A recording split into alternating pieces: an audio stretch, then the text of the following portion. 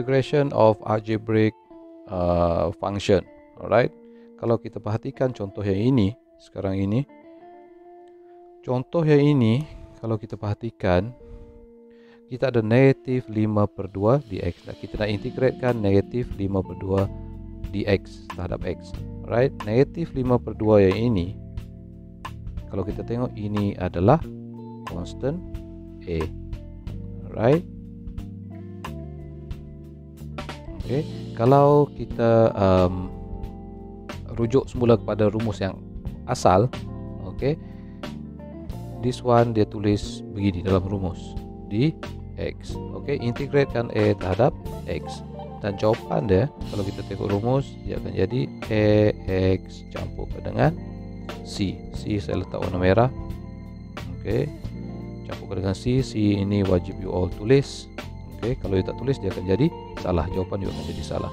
You see bila kita nak integratekan a constant a constant a macam ini. This is constant a. This is constant. Alright satu nombor. Okay just that ini dalam bentuk constant dalam bentuk fraction. Kita nak integratekan terhadap x. Pada asalnya tidak ada x bila kita integratekan akan wujud x. So a bertindak sebagai multiplier constant akan bertindak hanya sebagai multiplier.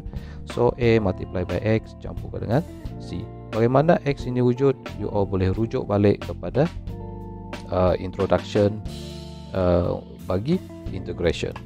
Alright.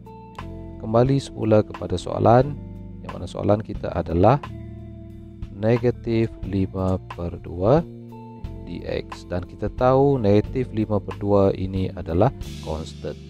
Ok so apa yang berlaku sekarang? Alright, alright. kalau kita tengok negatif 5 per 2 darab berapa? Untuk dapat 5 per 2 semula kita kena darabkan dengan 1 ini saya buat step by step tapi uh, dalam keadaan sebenar you jangan buat begini. Alright? Ini cuma saya nak tunjuk saya. Okay? So negatif 5 per 2 bagaimana cara kita nak dapatkan 1 daripada x alright because kita nak eh, integratekan terhadap x sekarang ini so ini akan jadi x. In order untuk dapatkan satu x kita kenalah x power of 0 okay apa jua nilai pada yang kita masukkan dalam x dan kita powerkan dengan dengan kosong dia akan jadi satu. Okay dan dalam case ini saya keluarkan constant. Constant yang ini saya keluarkan daripada integration proses sebab nanti dia hanya bertindak sebagai multiplier saya. Kita nak selesaikan x, x saja x power 0 so ini akan jadi negatif 5 per 2 x power of 0 dx. So sekarang cuma kita nak selesaikan x saja right sebab kita nak integratekan x saja dalam case ini. So constant saya bawa keluar nanti dia akan jadi multiplier. So seterusnya kita akan dapat dekat sini 5 over 2 multiply by x power 0 plus 1 this one juga benda yang sama plus 1 dan jangan lupa campurkan dengan c. Alright setiap kali selesai proses. So kalau kita tengok jawapan akhir dia is supposed to be negatif 5 per 2 darabkan dengan X campurkan dengan C. Ini adalah jawapan akhir yang sepatutnya kita dapat. 0 campur 1 1 X power of 1 X power 1 over 1 so darabkan dengan negatif 5 per 2 so you akan dapat negatif 5 per 2 uh, X campurkan dengan C. Secara mudahnya right, diberikan soalan ini. Right, ini saya nak tunjuk secara mudahnya You tak perlu buat yang ini, semua yang ini. Ini cuma saya nak tunjuk kenapa daripada keadaan asal negatif 5 per 2 tidak ada X bila kita bila kita integratekan akan wujud X. Ini saya tunjukkan. Dalam keadaan sebenar, you all tak perlu buat begini. Katakan diberikan soalan. Alright, negatif 5 per 2 dx. Integratekan negatif 5 per 2 dx terhadap x. Eh. So, apa you perlu buat? Daripada keadaan tidak ada x, akan wujud X. So tulis 5 per 2 Integrate ke terhadap X. So X plus C. Buat macam itu saya. Okay tak perlu buat semua yang ini. Yang ini saya cuma nak tunjukkan kenapa X ni wujud di sini daripada keadaan tidak ada X di sini. X di sini wujud. X di sini wujud. Alright? So terus saja buat seperti ini. Soalan seterusnya untuk algebraic uh, apa nama function. Okey. Kita nak integratekan algebraic function. Kalau kita tengok soalan ini integration of 4x alright kita nak integratekan 4x ini terhadap x. So equation pattern dia kalau kita perhatikan equation pattern untuk yang ini adalah dalam bentuk ax dx alright. X adalah x 4 ini sekarang actually dia adalah constant a. Okay kalau kita selesaikan berdasarkan kepada uh, rumus this one is supposed to be ax a hanya bertindak sebagai pendarab so dia akan kekal. Uh, n power dia sekarang. Alright, power kita sekarang adalah power of 1 campur ke dengan 1 denominator juga n campur ke dengan 1 jangan lupa campur ke dengan c alright kalau dia tak campur dengan c dekat belakang ni nanti jawapan dia jadi salah. Alright. So itu jawapan yang sepatutnya kita dapat. Okay. Bila dia tak tulis power dekat sini maksud dia power dia power of 1 lah. Alright so n dia sekarang adalah 1 power n ini kena tambahkan dengan satu. Denominator juga benda yang sama n campurkan dengan satu. Alright. Uh, kalau kita buat step by step okay untuk persamaan ini 4x dx okay so it's supposed to be kita akan dapat alright uh, 4 yang ini this is constant 4 ini you boleh bawa keluar tidak ada masalah alright kalau you tak nak confuse lah alright kalau saya saya buat beginilah okay So 4 ini because dia constant saya bawa keluar nanti dia hanya bertindak sebagai multiplier saja. So saya kekalkan x sebab kita nak integratekan terhadap x. So tinggalkan x saja. X ini sekarang dalam x power of 1. So bila kita selesaikan right 1 campur dengan 1 over 1 campur dengan 1 dan yang ini sekarang kita sudah selesaikan. Bila mana kita sudah selesaikan sebagaimana dalam introduction saya terangkan kena terus campurkan dengan C. Right, jangan lupa. Right, kalau you tak campur dengan C Nanti jawapan you jadi salah. So, seterusnya kita akan dapat dekat sini. 4X kuasa 2 per 2 Boleh tak kita simplify by then?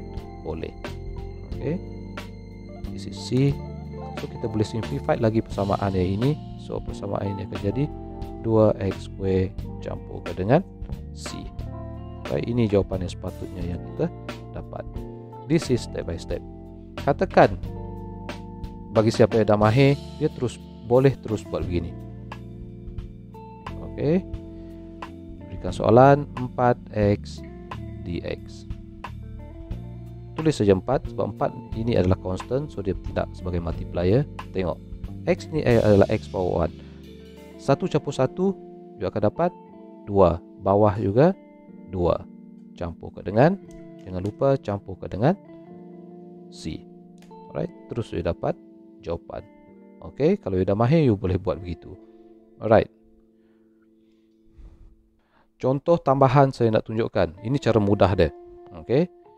Um, contoh diberikan 3x kuasa 2 dx. Integratekan 3x square terhadap x. Secara mudahnya, kita tengok 3 ini adalah constant, tulis saja right x 2 campur 1 3 bawah juga 3 jangan lupa campur dengan c uh, kita uh, apa nama? Simplified kita akan dapat x kuasa 3 campur dengan c begitu saja. Mudah saja. Atau um, katakan contoh lain uh, integration of 3x kuasa 5 per 2 dx. Ini cara mudah ha? 3 per 2 adalah constant. 3 per 2 adalah constant. 3 over 2 adalah constant. Pisahkan dia. X power 5 dx. Ok ini cara mudah ha? ok kekal kalau you nak kekalkan boleh sebab dia uh, uh, 3 per 2 ini adalah this is adalah constant A. Kalau kita nak kekalkan, kita kekalkan. X. 5 campur 1 6 bawah juga 6 jangan lupa campurkan dengan C uh, simplified. 2 so kita akan dapat X kuasa 6 per 4 campurkan dengan C pun boleh. Ok boleh tengok dekat sini. Alright so itu cara mudah dia. 3X kuasa 2 3 kekalkan. 2 campur 1 3 bawah juga 3 3 per 2 X kuasa 5 3 per 2 adalah constant. Tinggal X kuasa 5 X kuasa 5 integrate 5 campur 1 6 bawah juga 6 simplified. Macam itu saja uh, contoh yang ketiga uh, integration of uh, algebraic function yang ini sama sebagaimana uh, dalam penerangan saya dalam uh, contoh yang kedua tambahan penerangan dalam contoh yang kedua. Okey?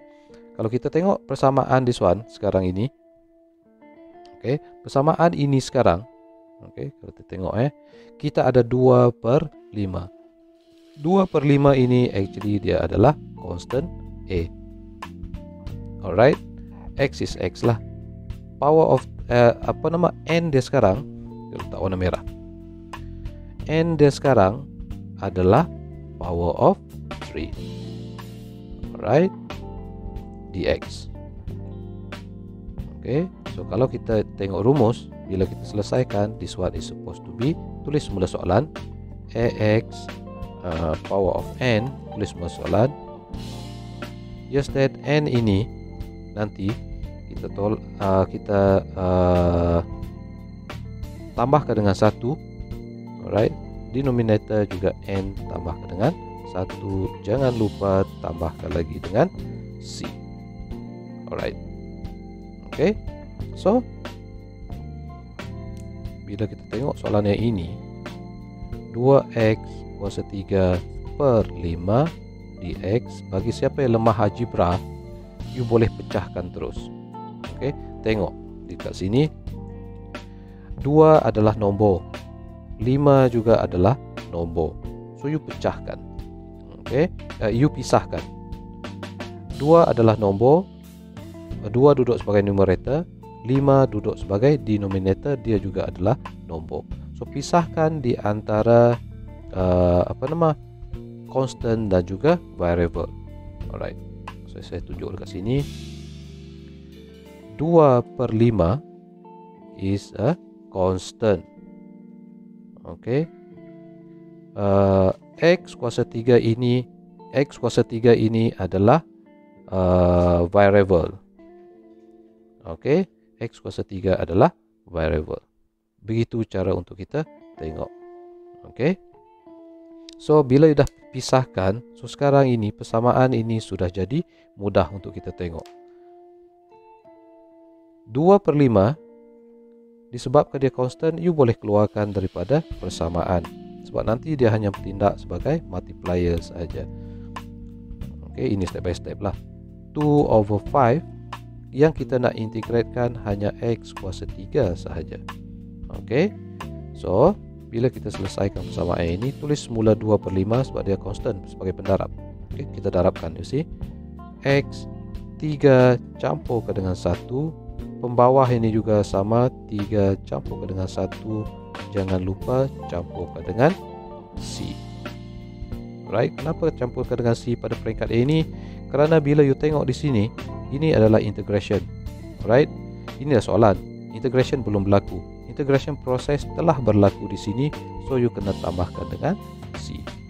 So jawapan akhir kita adalah supposed to be okay, um, 2 per 5 X kuasa 4 per 4 campurkan dengan C. Okay. Dan kalau kita selesaikan we suppose oh yang ini boleh simplified. Okay this one akan jadi 2 so kalau kita selesaikan kita akan dapat berapa dekat sini? Uh, x kuasa 4 per 10 campurkan dengan c. Alright ini adalah jawapan akhir yang sepatutnya kita dapat.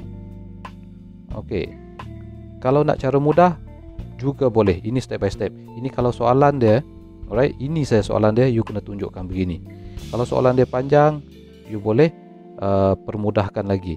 Gunakan uh, sebagaimana yang saya tunjukkan di dalam example 2 okey uh, uh, petambah penambahan contoh dalam example 2 saya dah tunjukkan. So you, so you boleh rujuk kepada uh, uh, contoh dalam example 2 okey contoh yang keempat ini juga sama kalau you perhatikan eh kita nak tengok nombor dengan nombor variable dengan variable alright saya tulis kat sini kita nak pastikan which one is constant you kena kena tahu which one is constant pisahkan di antara constant dan juga satu lagi variable. Okey. Dalam kes yang ini, which one is variable? x power of 5 is variable. Alright. x kuasa 5 dan x kuasa 5 ini duduk sebagai denominator. Which which one is a constant? Obviously constant kita adalah yang dalam bentuk nombor saja iaitu negatif 4 dan juga 7. Negatif 4 duduk sebagai numerator, 7 duduk sebagai denominator. So constant kita sekarang adalah 4 numerator, 7 denominator. Okey. So maksud dia sekarang persamaan yang ini. Okey. Uh, saya terus tunjuk dekat sini. Okey. Kita ada uh, soalan dia negatif 4. So kalau saya pisahkan negatif 4 per 7 alright 1 per x power 5 dx alright negatif 4 per 7 ini adalah constant a alright dan sat, uh, x kuasa 5 yang duduk sebagai denominator ini ini adalah variable. Alright ini variable x kuasa 5 so apa yang saya buat? Okay, kalau saya buat step by step.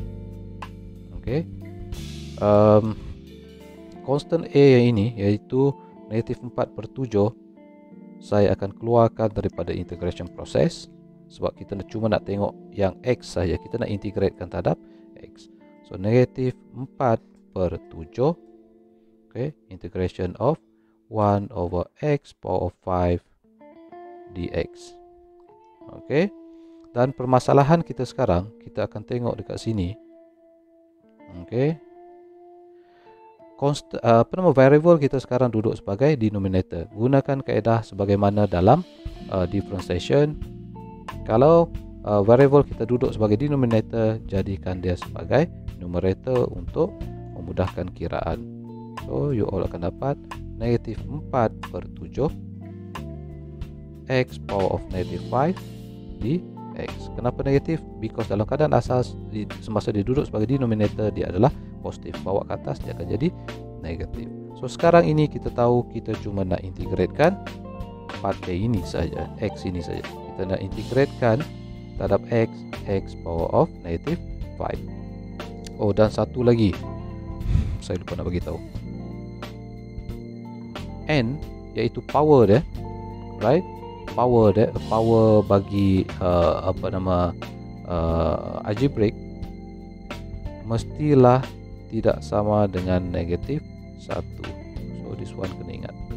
Alright ini tambahan. Ini ini adalah syarat dia.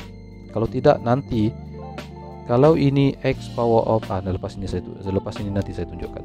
Okey so kalau kita selesaikan persamaan ini negatif 4 per 7 okey multiply by negatif 5 campur dengan 1 bawah juga sama uh, negatif 5 campur ke dengan satu. Jangan lupa campur ke dengan C. Ok so seterusnya kita akan dapat dekat sini adalah um, negatif 4 per 7 multiply by X negatif 4 negatif 4 campur ke dengan C ok So kita sekarang simplify jawapan dia. This one boleh cancel out. Negatif multiply by negatif positif.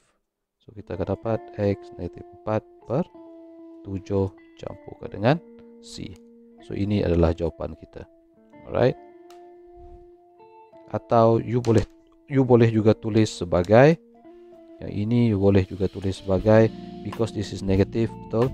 So negative belong to uh, denominator so you juga boleh tulis sebagai 1 per 7x kuasa 4 campurkan dengan C juga boleh tapi saya advise sampai setakat ini sajalah tak perlu buat yang ini Okey. ini merupakan contoh yang kita tak boleh nak selesaikan Okey. kalau kita tengok pada um, uh, apa nama syarat bagi integration yang mana n must not equal to negative 1 alright kita tengok dekat sini eh. Kalau kita buat see kita pisahkan di antara uh, variable dan juga constant. This is constant. Dua ini 4 per 7 ini adalah constant. So 4 over 7 adalah constant. Yang tinggal 1 over x dx. Ok perhatikan eh 4 over 7 saya keluarkan. So x ini saya bawa ke atas. So dia akan jadi x power of negative 1 dx. See sekarang dia sudah jadi negative 1 actually yang ini tidak boleh kita buat uh, integration. Why? Because kalau kita tengok pada syarat dia power dia iaitu n negative 1 is n eh, must not equal to negative 1 apa akan berlaku kalau kita selesaikan juga? See x negative 1 campur 1 you see dia akan jadi kosong yang ini totally 0 0 multiply by 4 over 7 dia akan jadi 0. Actually jawapan untuk 4 per 7 X kalau kita integrate ke terhadap X dia sebenarnya bukanlah kosong. Dia akan ada satu nilai. So yang ini totally salah. Alright. So untuk case ini kita guna gunakan kaedah yang lain. Alright. Contoh yang kelima untuk integration of algebraic function yang ini ada sedikit panjang. Okay. So kalau kita perhatikan persamaan ini, persamaan ini adalah persamaan yang panjang. Right. So apa you all perlu buat? Okay, kita simplifiedkan terlebih dahulu persamaan ini. Dia nampak sukar tapi actually uh, mudah saja sebenarnya. Okay, kita simplifiedkan persamaan ini. Right. So macam mana cara kita nak buat? Alright. Integration of uh, negative x square campur 2x tolak 6 over square root x. Saya boleh tulis saya simplify dulu campurkan dengan 2x tolakkan dengan 6 over x power of 1 over 2 dx ini adalah simplification yang pertama yang kedua yang kita akan buat kita akan pecahkan negative x square ah, yang ini saya akan letak dalam bracket. X power of 1 over 2 campur. 2x x1 over 2 eh, eh, no, tolak. Um, 6 per x power 1 over 2 alright dx alright. So bila saya dah pecahkan begini alright uh, square root 2 saya letak dalam nombor kemudian saya pecahkan satu-satu. Kenapa kita boleh pecah? Because dalam case ini sekarang kalau kita tengok ini adalah addition and subtraction. So kita boleh pecahkan. Ok so saya simplified lah. Ok So yang ini akan jadi negative x 2 uh, variable x power of 1 over 2 yang ini bawa ke atas semua yang ini. Okey, jadikan dia sebagai numerator. So dalam keadaan sekarang dia adalah positif. Kalau you bawa ke atas, okay, jadikan dia sebagai numerator, nanti dia akan jadi negatif. Dalam case bila kita uh, buat subtraction so that mean kita akan tolakkan power bagi x yang ini tolak 1 over 2 ok saya letak bracket campur 2x power of 1 this is this is power of 1 eh. Ok bila dia tak tulis ini sebenarnya adalah power of 1 power of 1 tolakkan dengan 1 over 2 uh, tolakkan dengan 6x power of negative 1 over 2 dx alright dah settle. So apa yang kita nak buat sekarang? Um, this one kalau you all rujuk pada rumus ini adalah dalam bentuk dalam bentuk function yang uh, sama ada campur atau dua ataupun lebih function yang kita campur ataupun tolakkan. Yang mana kalau beginilah keadaannya kita boleh uh, pecahkan integration proses A ini kepada dalam bentuk A ini. Dx campur ataupun tolak integration of function yang kedua dalam x. Alright so this means setiap satu ini kita boleh pecahkan because ini adalah operasi subtraction of uh, apa nama addition okay? Kalau kita pecahkan right dia akan jadi begini. Uh, this one is negative x. Uh, yang ni berapa? Okay, ini adalah uh, 3 positif 3 per 2 dx oh yang ini saya nak stresskan. Kena tulis dx alright bila kita pecahkan see dekat sini. You kena tulis dx ok bila you pecahkan jangan tulis satu saja dekat sini. Ini juga kena tulis.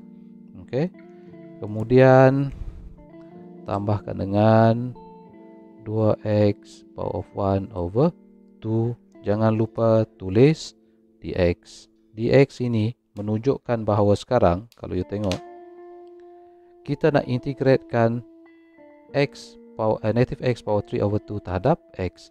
Kita nak integratekan 2x power 1 over 2 terhadap x. Kalau yang ini tak ada, tak wujud, you tak letak. So that's mean integration of negative x 3 over 2 terhadap apa? Kita tak tahu. Katakan yang ini tak ada. dx ini tak ada. That's why you all kena tulis dx dalam setiap kali uh, kita pecahkan uh, apa nama function dia kepada function uh, kita separatekan function dia daripada function yang duduk dalam satu bracket bila kita pecahkan individually dekat sini so you kena tulis dx kemudian yang ketiga adalah integration of 6x power of negative 1 over 2 dx Alright, sekarang kita selesaikan satu-satu. Dia dah terpisah. Okey. Uh, yang bulat ni jangan pula you all tulis. Ini cuma saya nak tunjuk saja. Alright. So sambungan dia. Okey. Sambungan dia um, negatif saya letak dekat luar x power of 3 over 2 dx uh, campurkan dengan yang tadi 2x power 1 over 2 so 2 saya keluarkan sebab dia constant. Saya kekalkan hanya x power of 1 over 2 dx right? Tolakkan dengan yang tadi 6x power of negative 1 over 2 6 saya keluarkan sebab dia kalau constant nanti bertindak hanya sebagai pendarab saja. So saya kekalkan di dalam integration process x power of uh, negative 1 over 2 dx so sekarang kita selesaikan satu-satu. Right? Cara mudah ha? Alright, negatif X. 3 per 2 campur 1 You akan dapat. Ok lah, kita buat satu-satu lah 3 per 2 campur dengan 1 Di bawah juga 3 per 2 campur dengan 1 Campur, yang ini tak perlu letak uh, campur C lagi Dekat ujung nanti baru kita letak campur C. 2 bertindak sebagai pendarab letak saya X power of 1 over 2 campur dengan 1 So 1 per 2 campur dengan 1 Tolak. 6 bertindak sebagai multiplier sebab dia constant. Uh, Kekalkan X Negatif 1 per 2 campur dengan 1 Bawah juga sama Negatif 1 per 2 campur dengan 1 Dekat sini nanti baru kita letakkan C. Di hujung sekali operasi Baru kita letakkan plus C. Alright. So kalau kita simplify dan kita selesaikan so kita akan dapati bahawa kita akan dapat negative x uh, 1 over 2 1 over 2 yang ini berapa 2x 3 per 2 betul tak 3 per 2 alright 3 per 2 3 per 2 tolak 6x 1 per 2 1 per 2 campurkan dengan C. Okay. Alright, ada pembetulan sedikit di sini pada bahagian ini. This is 5 over 2 this one also 5 over 2 alright sekarang kita selesaikan. So kita akan dapat dekat sini 2 bawah atas so negatif 2x 5 per 2 per 5 campurkan dengan per 2 4 x 3 per 2 2 bawah atas darab 2 akan jadi 4 so 3 remain. Ok 2 darab 6 kita dapat 12 x 1 per per 2 campurkan dengan C. Alright, so ini adalah merupakan jawapan akhir kita. Okay.